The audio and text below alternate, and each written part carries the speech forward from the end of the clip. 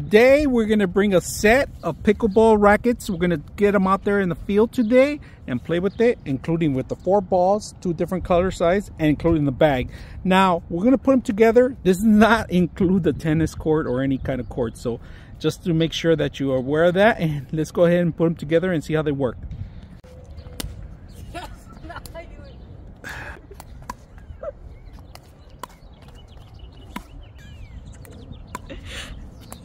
I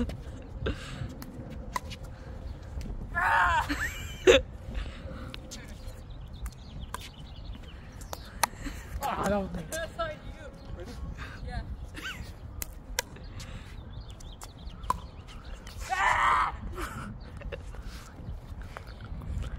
Looks like you're not any better, Dad.